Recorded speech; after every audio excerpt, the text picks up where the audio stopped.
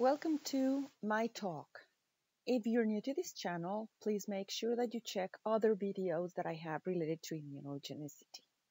So this is the second uh, part, clinical interpretation of immunogenicity. The first one was general principles. Now they are standalone, so you can uh, stay put and watch this. This relates to the antibody assays. And it's divided into parts. Part one is the anti drug antibody test results. How to interpret them in terms of the time of their collection, the isotype, and the titers, and why you should know at least a little bit about these and why these are important.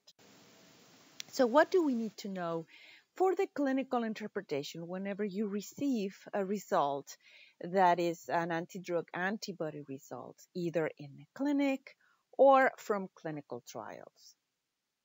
Anti-drug antibodies are antibodies to drugs.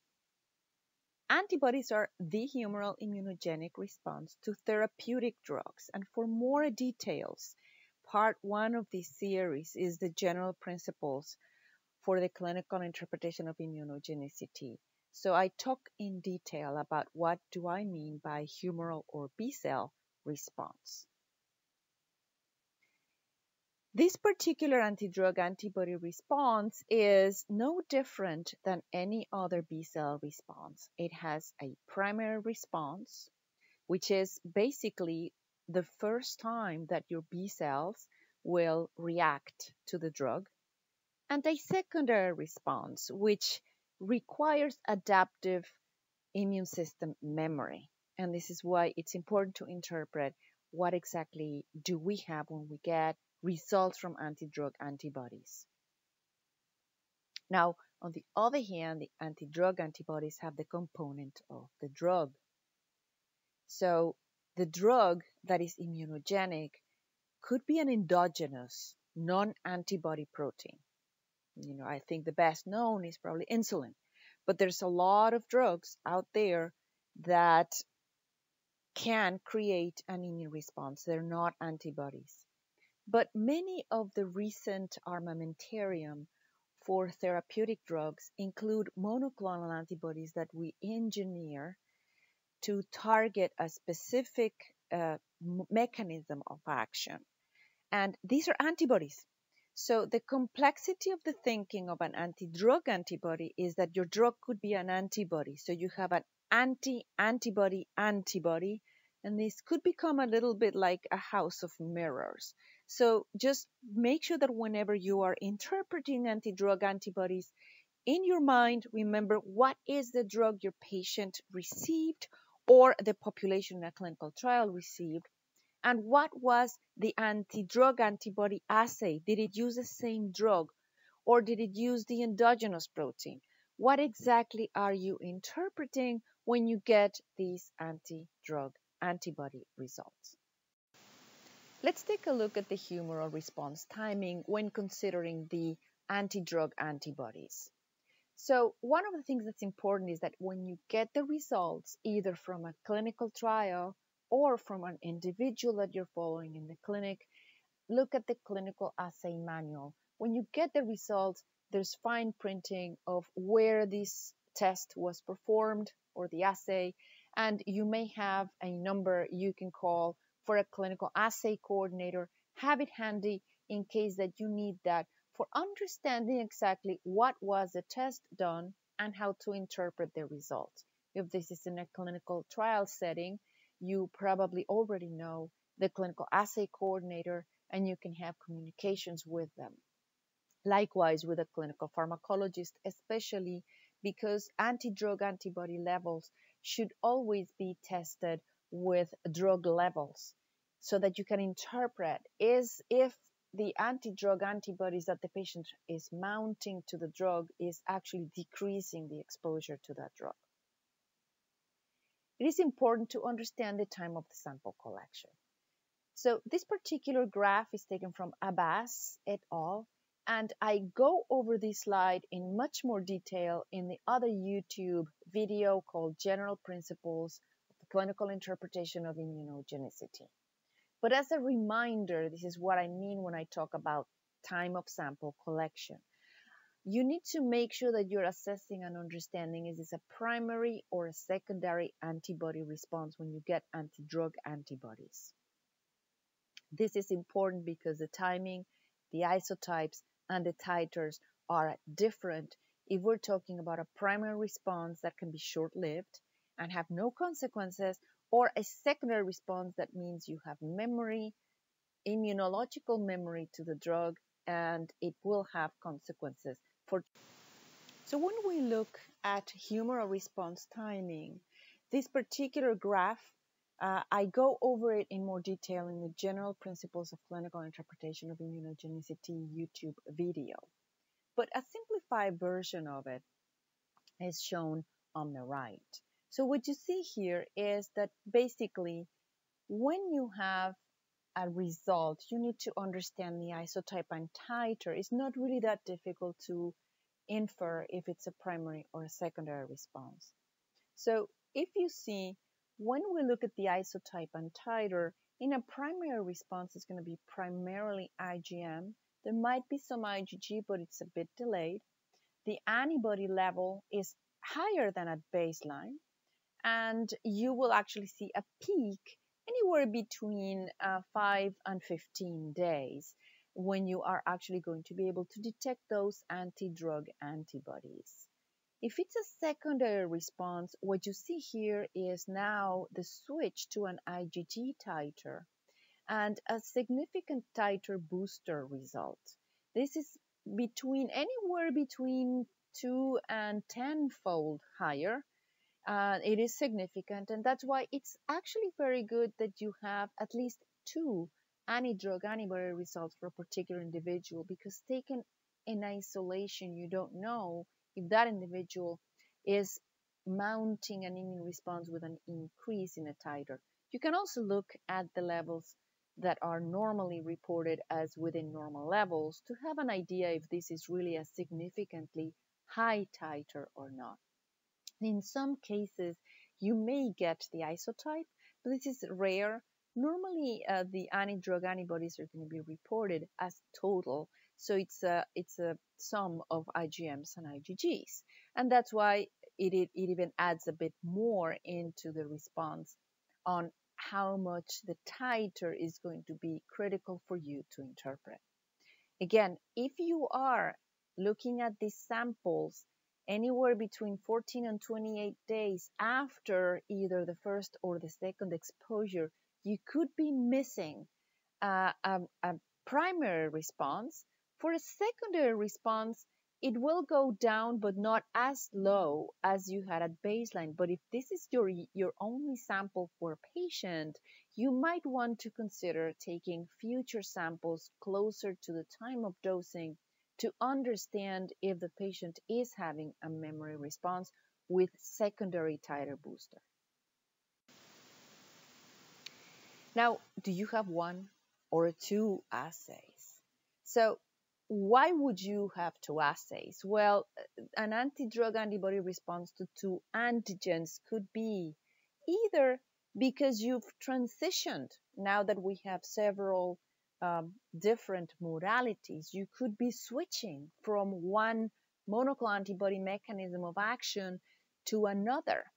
So the patient may actually have mounted an immune response to one and now have the other antibody in addition to it. Especially for some oncology indications, we're now seeing combinations of uh, biologics. So you might have two anti-drug antibodies and for more complex molecules that have bispecific mechanism of actions you need to consider which is the anti-drug antibody that I'm looking at is it to the one specificity or to the other more commonly we also have now available uh, biologics that are pegylated and anti-peg anti-pegylated antibodies are not that uncommon in general populations. So again, you need to understand if your patient is, re- is reacting to the pegylated modality of the drug or to the other piece of the drug, which is the one that has the mechanism of action and the specificity. So how do you interpret anti-drug antibodies when you may have two assays? first of all, make sure that you see what are you looking at when you get anti-drug antibody results. Make sure that the drug is identified. What was the captured drug in the assay? And then consider what happens when you have this kind of response. So I'm leaving the right hand uh, graph, which is the simplified graph for one single antigen over time.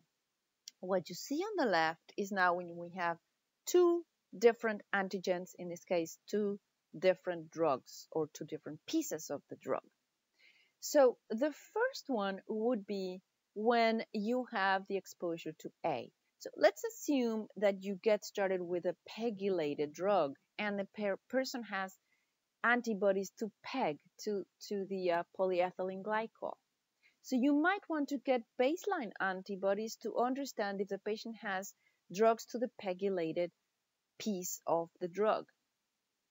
Then when you look at the titers, you see if it's a primary response to A, which could also be on a setting of getting two different biologics. So you have your first biologic and you get your antibodies to A. In this particular graph, I also want to mention that the blue line combines both isotypes.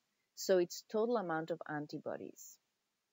And what you see here, what I was explaining before, is that when you combine IgG and IgM, you can see the titers increase significantly when you get the second exposure to that first antigen. So if there is memory response to pegylation, for instance, you will get a titer booster.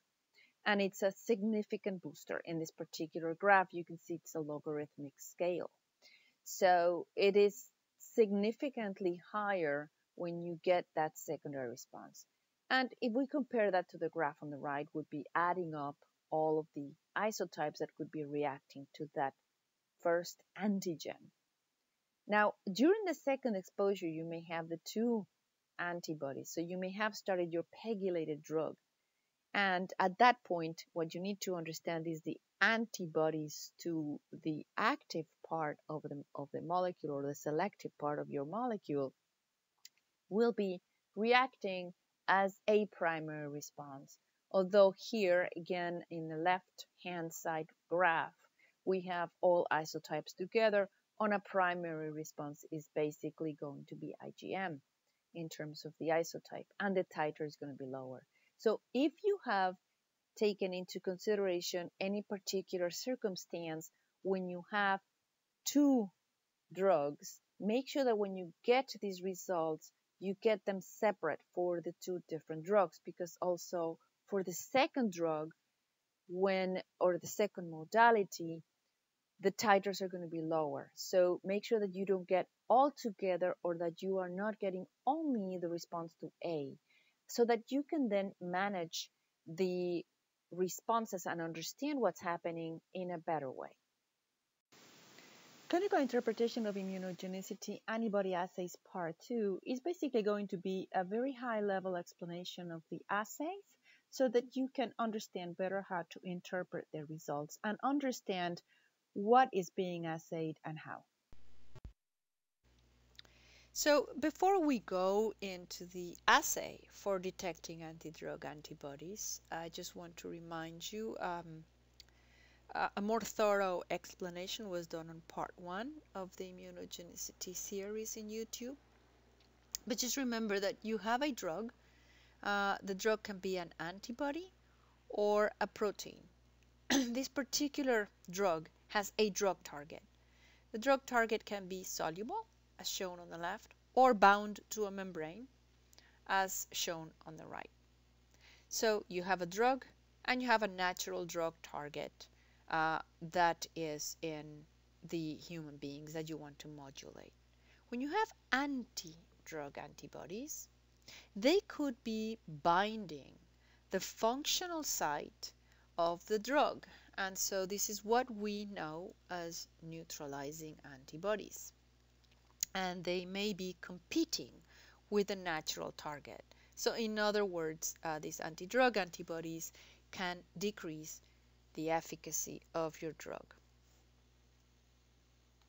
The anti-drug antibodies could also bind outside the antigen binding site and your drug could still be able to engage with the target. Uh, in these cases, because it's binding the Fc portion and the Fc portion has several effector functions, uh, you need to understand if this particular binding outside the antigen binding site is impacting efficacy. For more details on what I'm saying now about how they can affect efficacy even if they're binding outside the antigen binding site, or in other words, if they're not neutralizing antibodies, they could still be impacting efficacy. Uh, please see part one of immunogenicity series. When detecting anti-drug antibodies, there's a few things that might be good to know. So the first thing is the detection methodology called the Meso Scale Discovery uh, Platform, which is the MSD platform.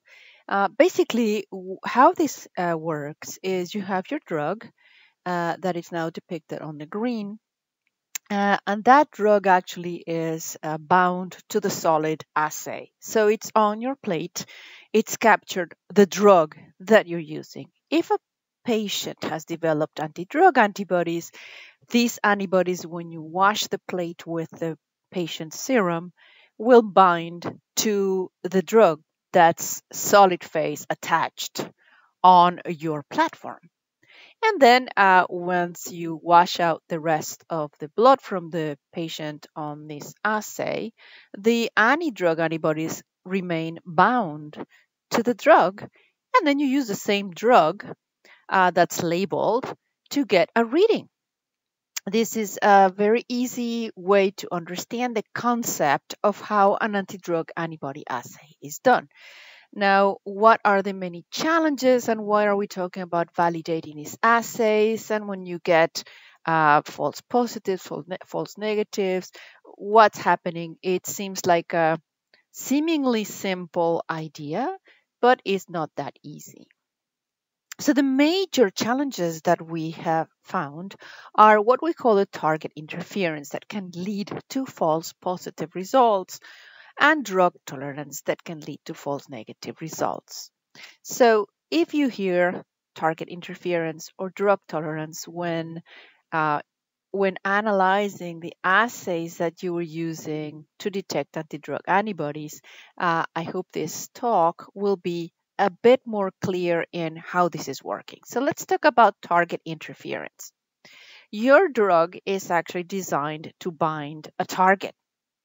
When that target is soluble, then when you are actually detecting the blood from your patient, let's say that this patient has absolutely no anti-drug antibodies, but they have the soluble target. So if you're using an anti-VEGF as your drug, well, the patient has VEGF circulating. Or an anti-TNF, well, the patient can have the TNF circulating in the blood. Most likely they do. So when you're using the blood on this assay, because you have actually designed your drug to bind that soluble target, now what you are actually detecting is this soluble target binds the solid phase capture drug and it will also be detected by the label drug. This is why the target interference produces false positive results. There are many different ways that in the validation of your assays can be done, like acid dissociation, incubation overnight. So there are many different ways to make sure that when testing the samples from patients, the, the serum from patients, it does not have that soluble target or the soluble target has been diluted sufficiently. However, you should not be diluting anti-drug antibodies that could be in the patient's blood. So this is one uh, of the key challenges when validating anti-drug antibodies. It's called target interference, and that's again when your target is a soluble target because you're using serum samples from the blood, and most likely these patients have that soluble target in the blood. What is drug tolerance? Drug tolerance is another one of the key factors when looking at anti-drug antibodies uh, in terms of the assay because it can actually lead to false negative results. So in this case, what I'm depicting here is the drug in the blood. So this is the drug that you're dosing the patient with. I have put a different uh, sort of uh, lines around these uh, images because you have to remember we're using the same drug that's captured on the solid phase and we are using the same drug that's labeled. So now the patient has drug in the blood because you've been dosing the patient. And let's say the patient does have anti-drug antibodies, but they're bound to the drug in the blood. So when the patient has a serum sample with antibodies that are bound to the drug in the blood that you gave them, they may have a free site that could still bind to the solid phase capture drug but they don't have any more sites to actually be able to detect it with the labeled drug that you're bringing. And that's why, even in the presence of anti drug antibodies, you can have a false negative result if there's still sufficient drug in the blood. So, this is one of the reasons why we need to understand when is this uh, sample taken and the validation assays for that particular drug. These examples pertain to drugs that are therapeutic proteins as antigens. Anti-drug antibody detection to drugs that are also antibodies and act as potential antigens uh, is uh, similar to therapeutic protein assays using the mesoscale discovery or the MSD platform. In a simplistic way, I will explain what uh, that assay is and how we could understand the challenges. Basically, you have uh, the drug that's depicted here in green, and it has been bound to the solid phase. When you run the blood from the patient, if that patient has anti drug antibodies, they will bind to the drug that you have captured on the plate. And when you bring an, uh, a drug that's labeled, then that drug will also bind the anti-drug antibodies and you will get a result for presence of anti-drug antibodies. When your drug is an antibody itself, it can be a bit confusing. So that's why I think sometimes that these images can help.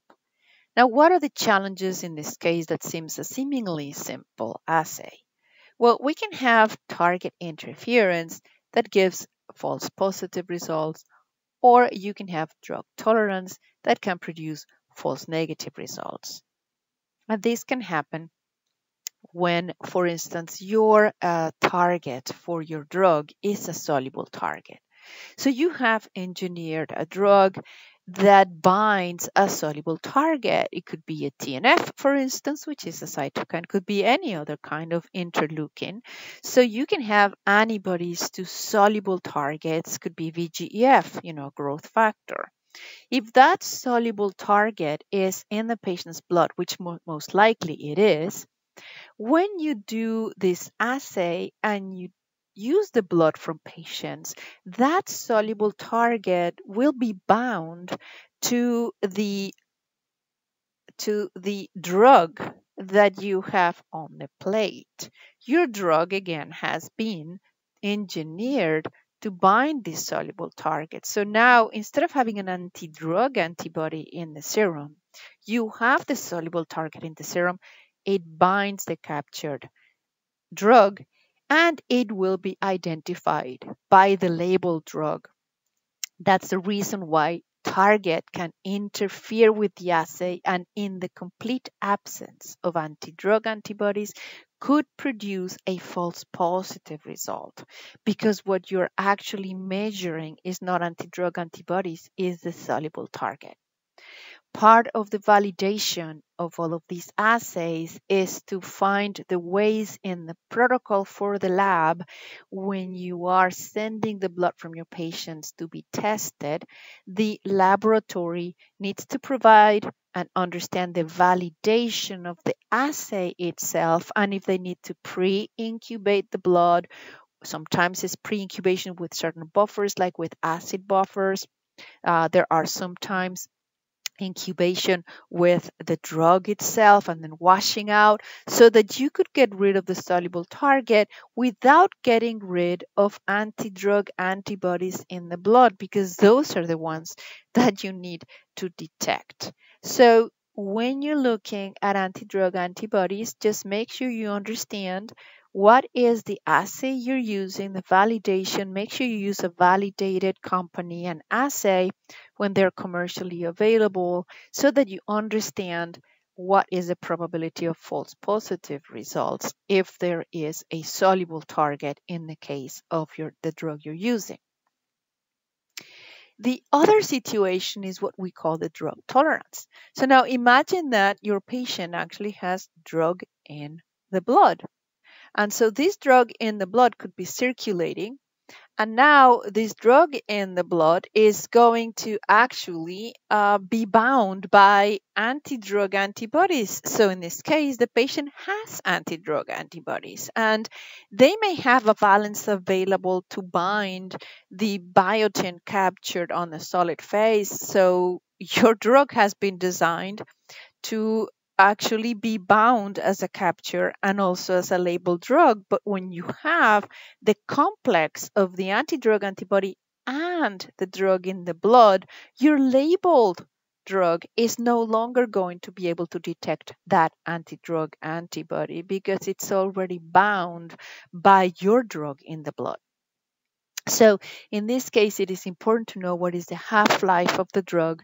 Has the assay been validated to be detected after five half lives. For instance, when you already know there's no more drug in the blood of that patient, or is there anything you can do to assess the true uh, false negatives if there's really any drug antibodies and how this assay has been actually characterized.